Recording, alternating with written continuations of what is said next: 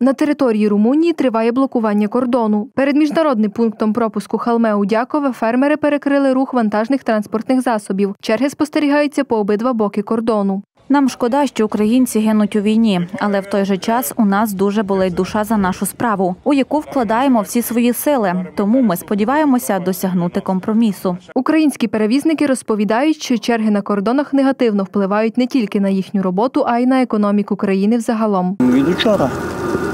Вчора такий час десь став, ще скоріше, до обіда ще.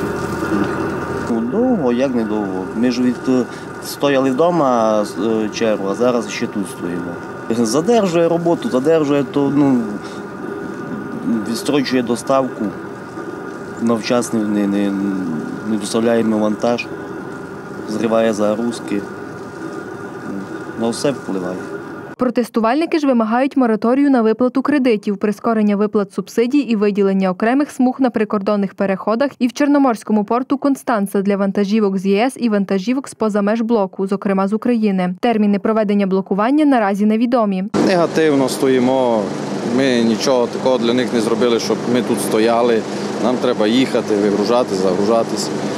Ну, негативно ставлюся до цього. Не знаю чому. Вони там заблокували, не заробляємо, стоїмо, проїдаємо. Тож негативно, економіка паде.